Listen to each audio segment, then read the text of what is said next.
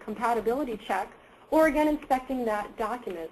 Of course, here you'll find your properties, and again, um, if you're looking at encrypting or using some of the restrictions that Microsoft has built in with their server solutions, you're going to want to call our FandoTech folks. They have wonderful knowledge on this.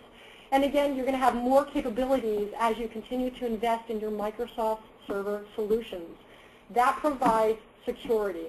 And again, in our industry, we have to be mindful that our confidentiality and our intellectual properties can be found here in our Microsoft tools. Very important in this day to consider that as something to protect. As we're thinking about our sharing options, many times we're bringing these PowerPoint slides off-site. You're not on your network. You might have to publish these elsewhere. And some of those most powerful tools can be found under Send or Publish. Like I, I said earlier in our program, I invite you to click now again on your Office button on your Publish command. That Publish command gives you capabilities to publish your slides. There are library capabilities now. That's new for 2007. You can package this for a CD. You can burn it. You're going to have to think about how you link your files, whether you'd like to embed them or link them.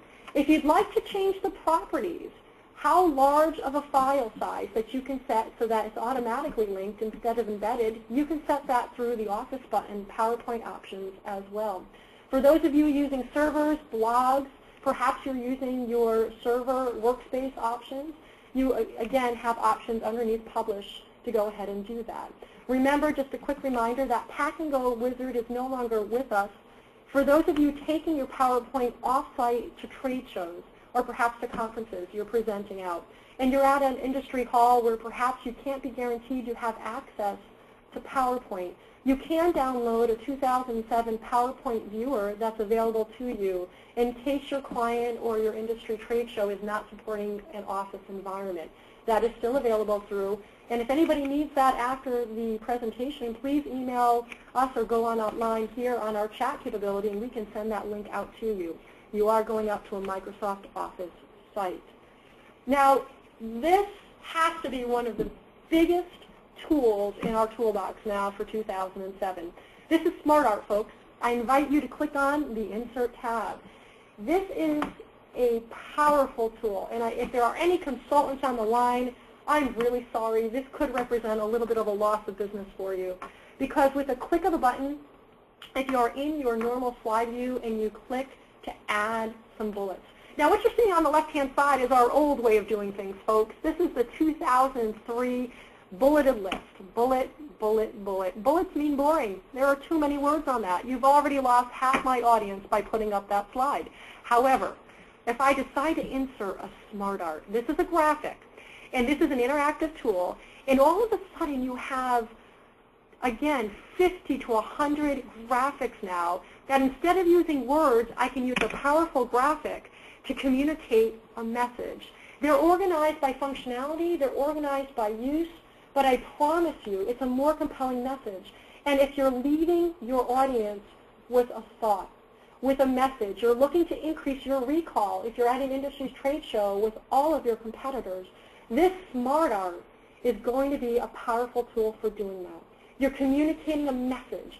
You're tying a graphic around it, which automatically increases the efficacy, the power of your tool to deliver a message. Now again, this is a tool that can be found across any of the applications. I find its more, most powerful application here is in PowerPoint. The visual comes together very nicely. That's found, of course, under the Insert tab. Um, and you have to consider if you are saving this as a 2003 PowerPoint PPT, an older version, if you're sending this out to somebody who doesn't have 07, you will get a, com a compatibility flag. These graphics are so dynamic. They pop in their graphics. You won't be able to edit them once you save it as a 2003 version. So this is one of the new tools. You can use it in 07. You can save it down to another version. However, you may be a little bit impacted to change it once it's in, in another format. So just as an FYI, you'll want to pay attention to your save options with this new tool. Now let's move on. Charting. What a powerful integration here between Excel and PowerPoint. You now have at your disposal all of the new tools and functionality in Excel can be found right here in PowerPoint. Once again, insert tab.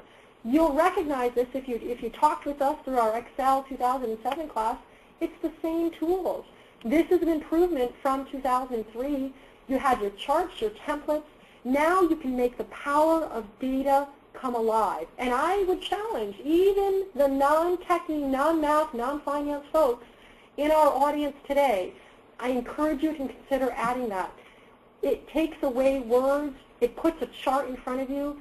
You can instantly see a trend. It will become an easier tool for you to communicate why you're better than the competition. Use a chart. Consider using a smart tool here that will allow you to use data more effectively within PowerPoint in less time, most importantly. Now again, what you're seeing are, are snapshots here from our tool. You'll see on the left-hand side you have your chart templates. These are available across all of our templates in our applications. Our tools in the middle, this is a selection, again, from our data source. And this is what you're going to have to look at. If you're playing with charts, don't be afraid. While we don't have Chart Wizard anymore, this gives us a very handy tool for integrating data and very quickly switching the rows and columns if we need to tell a different story. And on the right-hand side, we have our design styles. You can quickly create a chart, and I like to say we make it eye candy. Look at how these graphics come alive. In the printed format, this does, just doesn't do it justice. To see this on PowerPoint on a large screen makes it pop. Your data will come alive. So I encourage you, consider using charts you don't need to put a thousand words on it. You need to do add a summary line. I do encourage you if you're using charts or any type of graphic, make sure you leave your users or your audience with a summary line, a, a synopsis, some type of assumption they've walked away from the slide knowing about your use of the chart or the graphic. Now we have presenter tools. For those of you on the road, salespeople, marketing folks. You're always out there on site. You're at trade shows. You're going back and forth between your home office and somebody else's computer. You're always in front of a projector. You're constantly using two different computers. There is a, this is a fundamental shift for PowerPoint. This is a wonderful tool now they've created, a new presenter view. Why is this important? But it allows you, this is found under the slideshow tab. You have to turn it on, check it on. But again, this allows you to use two different computers. What you see as a presenter is different from what everyone else uses. This is so powerful, folks. We've been waiting for this for so many years. As a presenter, you're working on a few different levels. You're thinking ahead of a transition, how you're going to segue into the next slide. Perhaps you have a question somebody in the audience, you know that person, they're always going to ask three questions in, in, during your presentation. You can stop your presentation, and again, your narration and your rehearsal will stop and wait for you.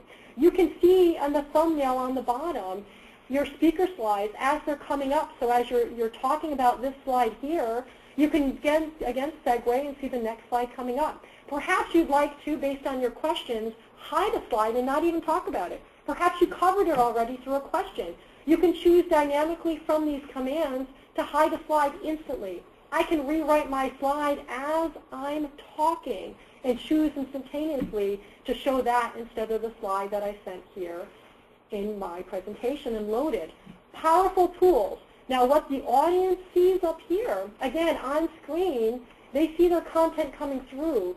You have your notes on the side. They don't see that and it's powerful. You have to get used to the two, again, two different windows. You'll quickly be able to do that. I know you're a multitasker. You'll get used to it. And then again, you know your slides, you know your data. You have your notes coming up, so you don't need to put so much information into your bullets. Make the bullets stand by themselves. Annotate. Use